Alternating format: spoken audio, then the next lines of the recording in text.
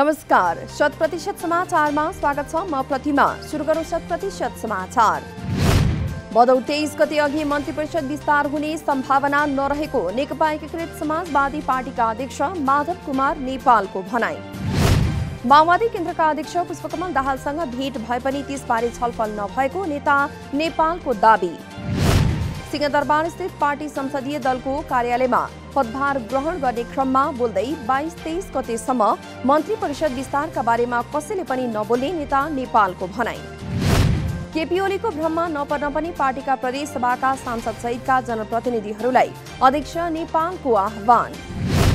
दस बुधे सहमतिको भ्रमपूर्ण व्याख्या गरिरहेको उल्लेख गर्दै उहाँले त्यसको भ्रममा नपरी आफ्नो पार्टीमा आउन पनि एमालेका नेता कार्यकर्ताहरूलाई आग्रह। आफ्नो पार्टीले माओवादी केन्द्रसँग एकता नगर्ने भनाई। आफ्नो पार्टी विरुद्ध केपी शर्मा ओलीले कुप्रचार गरिरहेको उल्लेख गर्दै त्यसलाई चिरेर अघि बढ्न सफल हुने दावी।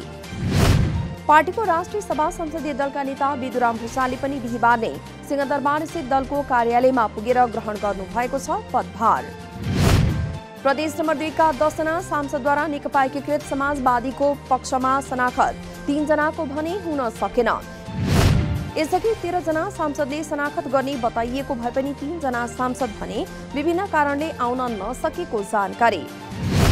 दुई सांसद सुन्दर बहादुर विश्वकर्मा र सीता गुरुङ आज विमान मार्फत जनकपुर आएर शनाखत गर्ने योजनामा रहेको भए पनि मौसमको खराबीको कारण आउन नसकेको दावी।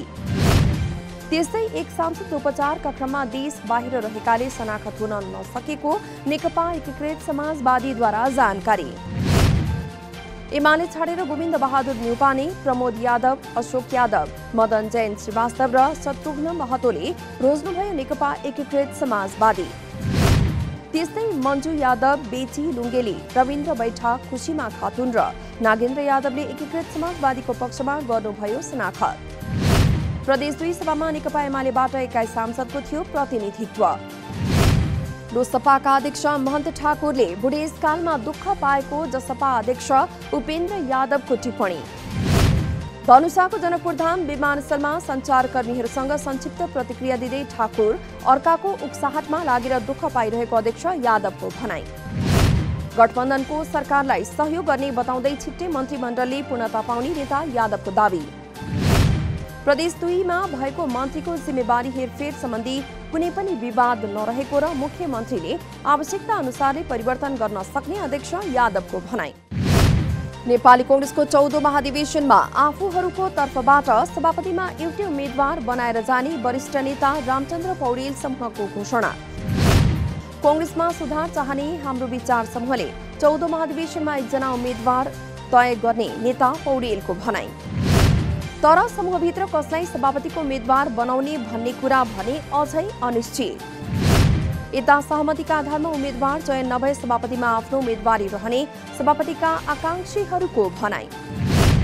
यसअघि कृष्ण प्रसाद सिटौला पक्षबाट महामन्त्रीका उम्मेद्वार बन्नुभएका गगन थापा पौडेल समूहमा सहभागी। कङ्ग्रेसको महाधिवेशन मङ्सिर नौदेखि तेह्र गतेसम्म काठमाडौँमा हुने तय शुक्रबारदेखि सुरु हुँदैछ वडा अधिवेशन। संवैधानिक परिषदको अध्यादेश र त्यसअनुसार संवैधानिक निकायमा भएका नियुक्ति सिफारिस विरुद्ध परेका रिटमाथिको सुनवाई तत्काल नगर्न सर्वोच्चको आदेश। प्रधान न्यायाधीशलाई संवैधानिक इजलासमा बस्नै पर्ने संवैधानिक दायित्व भएको भन्दै रिट अन्तिम टुङ्गो नलाग्दासम्म सुनवाई नगर्न आदेश। न्यायाधीश हरि फुयालको इजलासले गरेको आदेशमा यो विषयमा अदालतलाई सहयोग गर्न चारजना एमिकस क्युरी बोलाउने आदेश। नेपाल बार एसोसिएसनबाट दुई र सर्वोच्च अदालत बारबाट दुईजना गरी चार एमिकस क्युरी पठाइदिन आदेश। संविधानको धारा एक सय सैतिसमा प्रधान न्यायाधीश र अन्य चार न्यायाधीशको संवैधानिक इजलास हुनेछ व्यवस्था। वर्तमान सत्ता गठबन्धन दलहरूकै कारण मुलुक चाँडै निर्वाचनमा जाने नेकपा एमालेको युवा संगठन, राष्ट्रिय युवा संघ नेपालको दावी। गठबन्धनभित्रको विभिन्न स्वार्थ समूहका कारण देशको गतिरोधलाई अन्त्य गर्नका निम्ति निर्वाचनको विकल्प नभएको युवा संघका अध्यक्ष किरण पौडेलको भनाई। केपी शर्मा ओली नेतृत्वको सरकारले दुई खर्बभन्दा बढी रकम युवाहरूको उद्यमशीलता र स्वरोजगारका लागि छुट्याएको भए पनि पारदर्शी रूपमा युवाहरूमा वितरण नगरेको आरोप। ओली नेतृत्वको सरकारले दिलाएको युवा मैत्री कार्यक्रमको सबैले लाभ लिनु पाउनुपर्नेमा अध्यक्ष पौडेलको जोड। पछिल्लो चौबिस घण्टामा देशभर दुई हज़ार चारजनामा कोरोना संक्रमण पुष्टि। नेपालमा कोरोना भाइरसको संक्रमण हुनेको संख्या आठ लाख पचास हज़ार दुई सय आठ पुगेको स्वास्थ्य तथा जनसङ्ख्या मन्त्रालयको तथ्याङ्क। पछिल्लो चौबिस घण्टामा एक हज़ार आठ सय छ्यालिसजना कोरोना संक्रमित निको भएको मन्त्रालयद्वारा जानकारी। यो सँगै कोरोना संक्रमण मुक्त हुनेको संख्या सात लाख एक्काइस हज़ार एक सय बयासी पुगेको मन्त्रालयको तथ्याङ्क। बिहिबार चौबिस घण्टामा थप सोह्रजनाको कोरोना संक्रमणबाट मृत्यु। नेपालमा अहिलेसम्म कोरोनाबाट मृत्यु हुनेको संख्या दस हजार सात सय छियासी पुगेको मन्त्रालयको तथ्याङ्क। महानगरीय ट्राफिक प्रहरी महाशाखाले गर्यो क्युआर पे मार्फत ट्राफिक जरिवाना भुक्तानी गर्न मिल्ने व्यवस्था। शुक्रबारबाट लागू हुने गरी चिटमा छापिएका क्युआर कोड मार्फत जरिवाना रकम भुक्तानी गर्न सक्ने व्यवस्था मिलाएको महानगरीय ट्राफिक प्रहरी महाशाखाद्वारा जानकारी। आफूसँग सुविधा भए चिटको क्युआर कोडलाई स्क्यान गरेर कारवाहीको रकम भुक्तानी गर्न सकिने महाशाखाका प्रमुख एसएसपी जनक भट्टराईद्वारा जानकारी। ट्राफिक प्रहरीले अब कारवाही गर्दा डकुमेन्ट नै लिनु नपर्ने प्रविधि विकास गर्न लागिरहेको प्रमुख एसएसपी भट्टराईको भनाई। क्युआर कोड मार्फत आफै भुक्तानी गर्न मिल्ने व्यवस्था केही दिनका लागि ग्लोबल आइएमई ब्याङ्कको क्युआर कोडबाट भुक्तानी गर्न सकिने। निकट भविष्यमै अन्य पचासभन्दा धेरै ब्याङ्कका प्रविधि मैत्री बन्दै गएपछि देशभरमा रहेका सबै ब्याङ्कबाट कारवाहीको रकम भुक्तानी गर्न सकिने जानकारी। दाङमा बाढीले गाडी बगाउँदा चारजनाको मृत्यु। गोराही लमही सडक खण्डको घोराही उपमहानगरपालिका वडा नम्बर चार सिस्ने खोलामा आएको बाढीले गाडी बगाउँदा एकै घरका दुई दिदी बहिनी सहित चारजनाको मृत्यु। चालकलाई उद्धार गरेको दाङका प्रमुख जिल्ला अधिकारी रामबहादुर कुरुङ वाङको भनाई। रूपैडियामा किनमेल गरेर फर्कदै गर्दा गाडीलाई बाढीले बगाएको प्रहरीद्वारा जानकारी।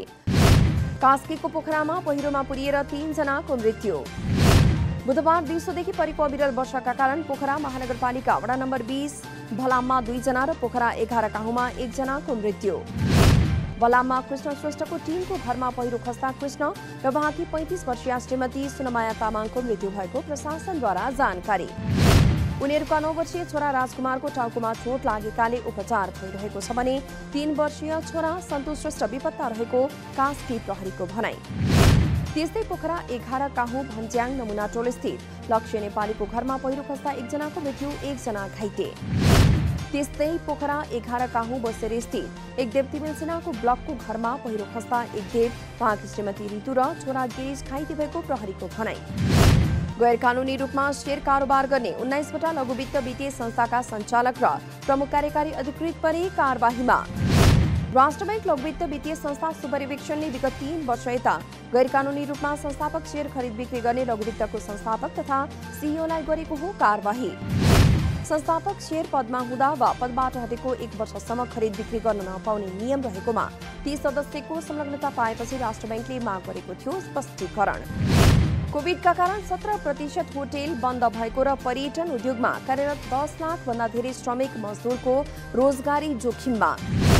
देशव्यापी रूपमा कोभिड नाइन्टिन विरुद्धको भ्याक्सिन लगाएर नेपाललाई भ्रमणका लागि सुरक्षित गन्तव्यको पहिचान दिन सरकारले काम गर्नुपर्ने नेपाल उद्योग परिसङ्घको सुझाव। पर्यटन क्षेत्रसँग सम्बन्धित सत्रवटा सङ्घ संस्थाका प्रतिनिधि सम्मिलित छलफलमा पर्यटन उद्योगको पुनरुत्थानमा सरकारले विशेष जोड दिनुपर्ने माग। पुनरुत्थानका लागि बिना धितो ऋण र कर पुनर्कर्जाको सुविधा सम्पूर्ण व्यवसायीलाई उपलब्ध गराउने व्यवस्था मिलाउन परिसङ्घको माग। पिसिआर रिपोर्टमा नेगेटिभ उल्लेख भएका र भ्याक्सिनको पूर्ण डोज प्राप्त गरेका पर्यटकलाई क्वारेन्टिनमा राख्नु नपर्ने व्यवस्था गर्न माग। मौद्रिक नीति दुई हजार अठहत्तर मार्फत लागू गरिएको सेयर धितो कर्जाको बाह्र करोडको सीमालाई तत्काल खारेज गर्न नेपाल इन्भेस्टर्स फोरमको माग। अर्थमन्त्री जनार्दन शर्मालाई पत्राचार गर्दै राष्ट्र ब्याङ्कले जारी गरेको एकीकृत निर्देशिका खारेज गर्न फोरमको माग। बाह्र करोड पनि तीनवटा ब्याङ्क तथा वित्तीय संस्थाबाट लिनुपर्ने र सोसीमा व्यक्ति तथा संस्था दुवैका लागि लागू गरिएकाले समस्या भएको फोरमको दावी। लगानीकर्ताहरूले सेयर बिक्री गरी ऋण चुक्ता गर्दा सेयर बजारमा प्रत्यक्ष दबाव सृजना भई विगत धेरै दिनदेखि सेयर बजारमा गिरावट आएको फोरमको भनाई। साताको अन्तिम कारोबार दिन बिहिबार नेप्से परिसूचक पचास दशमलव एक तिन अङ्कले घट्यो। बिहिबार ठूला कम्पनीहरूको कारोबार मापक सेन्सिटिभ इन्डेक्स एक दशमलव छ दुई प्रतिशत अर्थात् आठ दशमलव नौ शून्य अङ्कले घटेर पाँच सय एकचालिस दशमलव सात सात बिन्दुमा कायम। बिहिबार नौ अर्ब पचास करोड उनासाठी लाख सत्तरी हजार बराबरको एक करोड एक्कासी लाख नौ हजार नौ सय सतसठी किता सेयर कारोबार। राजधानीमा खानेपानीको आपूर्ति बढाउन त्रिशुली नदीको पानी पम्पिङ गरेर ल्याउने विषयमा छलफल सुरु। बढ्दो पानीको माग पूरा गर्ने विकल्पमा त्रिशुलीबाट पम्पिङ गरेर पानी आपूर्तिका लागि छलफल थालिएको केयुकेएलका सिइओ मिलन शाक्यद्वारा जानकारी। मिलम्ची अवरुद्ध भएसँगै उपत्यकामा सुरु भएको पानी अभावलाई आपूर्ति मिलाउन संस्थानले यथाशक्य पहल गरिरहेको जानकारी। आयोजनालाई अघि बढाउन खानेपानी मन्त्रालयलाई केयुकेएलको आग्रह। शिवपुरीको धापमा वाटर हार्भेस्ट प्रविधि जडान गरेर बागमती र पशुपति क्षेत्रमा पानी ल्याउने विषयमा पनि अध्ययन गर्नका लागि मन्त्रालयलाई अनुरोध। भीषण वर्षा तथा बाढी आएपछि अमेरिकाको न्युयोर्कमा आपतकालीन अवस्था घोषणा। ट्रपिकल स्टोम आइडाका कारण न्युयोर्क सहितका क्षेत्रमा भीषण वर्षा हुनुका साथै भेलबाढी आएको स्थानीय अधिकारीहरूद्वारा जानकारी। बाढीले सडकको अवस्था नाजुक बनाएपछि छिमेकी राज्य न्यू जर्सीमा पनि आपतकालीन अवस्था लागू। अमेरिकाको न्युयोर्क र न्यू जर्सीमा आधीपछि आएको बाढीका कारण कम्तीमा नौजनाको मृत्यु। महिलाहरूले छ हप्तासम्मको मात्रै गर्भपतन गर्न पाउने टेक्सास राज्यको नयाँ कानून। छ हप्ताभन्दा पछि गर्भपतन गर्न नपाउने गरी ल्याएको कानूनको अमेरिकी राष्ट्रपति जो बाइडेनले गर्नुभयो आलोचना।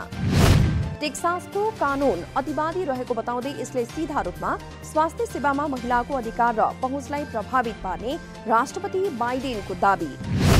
यसैबीच टेक्सासको नयाँ कानून रोक्न माग गरी दायर गरिएको रिटमा सुनवाई गर्दै सर्वोच्च अदालतले अस्वीकार गरेको छ माग। हार्टबिट नाम दिएको नयाँ कानून अनुसार छ हप्ताभन्दा पछि गर्भपतन गर्ने महिला तथा गराउने चिकित्सकमाथि कुनै पनि व्यक्तिले उजुरी दिन सक्ने व्यवस्था। सर्वोच्च अदालतले माग अस्वीकार गरेपछि कानूनको आलोचना गर्दै आफ्नो प्रशासन महिलाको अधिकार सुरक्षाका लागि प्रतिबद्ध रहेको राष्ट्रपति बाइडेनको प्रतिबद्धता। तालिबान निर्दयी समूह रहेको अमेरिकाका शीर्ष सैनिक जनरलको टिप्पणी। भविष्यमा प्रति आतंकवादी अभियानमा इस्लामिक विद्रोही समूहसँग सहकार्यको सम्भावना भनी रहेको सैनिक जनरल मार्की मिलीको भनाई। अमेरिकी सैनिकको अन्तिम समूह मंगलबार अफगानिस्तानबाट भएको थियो फिर्ता। यो सँगै अफगानिस्तानमा अमेरिकाको बीस वर्ष लामो सैन्य अभियान भएको थियो, समाप्त। अहिले तालिबानको नियन्त्रणमा रहेको अफगानिस्तानलाई लिएर आशंका, डर र त्रासको अवस्था कायमै। पहिलो अन्तर्राष्ट्रिय मैत्रीपूर्ण खेलमा नेपाल र भारतले खेल्यो एक एक गोलको बराबरी। त्रिपुरेश्वर यसै दशरथ रङशालामा सुरुवाती अग्रता जोगाउन नसक्दा नेपाल बराबरीमा रोकिन बाध्य। घरेलु दर्शक सामु खेलको छत्तिसौँ मिनटमा अञ्चन विष्टले गोल नेपाललाई दिलाएका थिए, सुरुवाती अग्रता। तर खेलको साठी मिनटमा अनिरुद्ध थापाले गोल गर्दै भारतलाई ल्याएका थिए एक एक गोलको बराबरीमा। अब नेपाल र भारत बीचको दोस्रो मैत्रीपूर्ण खेल आइतबार हुने। नेपाल र पपुवा न्युगिनी बीच हुने एक दिवसीय श्रृङ्खलाको मिति परिवर्तन। नयाँ तालिका अनुसार नेपाल र पिएनजी बीचको पहिलो खेल आउँदो भदौ बाइस गते दोस्रो खेल भदौ पच्चिस गते हुने तय। यसअघि यस श्रृङ्खलाको दुई खेल यही भदौ बिस र तेइस गते ओमानमा हुने भएको थियो तय। प्रतियोगिताका लागि अहिले नेपाली क्रिकेट टोली ओमानमा गरिरहेको छ प्रशिक्षण। अवस्था शत प्रतिशत समाचार अहिलेलाई यति नै। नमस्कार।